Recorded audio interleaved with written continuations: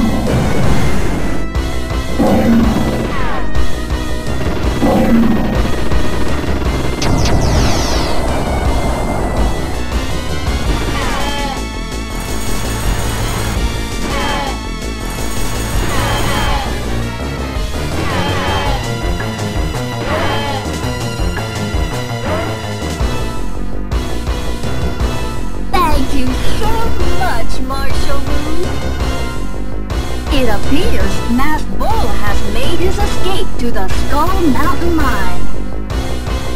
Let's rodeo, boys! Skull Mountain!